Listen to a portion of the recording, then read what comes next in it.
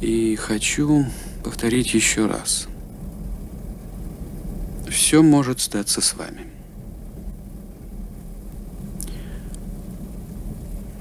Все, пастор.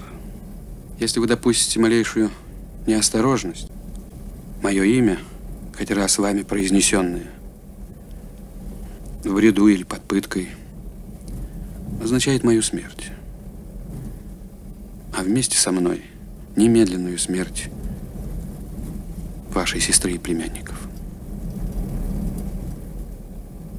Они висят на мне для тех, кто позволил вас вывести. Ничто не может спасти ваших родных, назови вы мое имя. Это не угроза, поймите меня правильно. Это реальность, а ее надо знать. И всегда о ней помнить.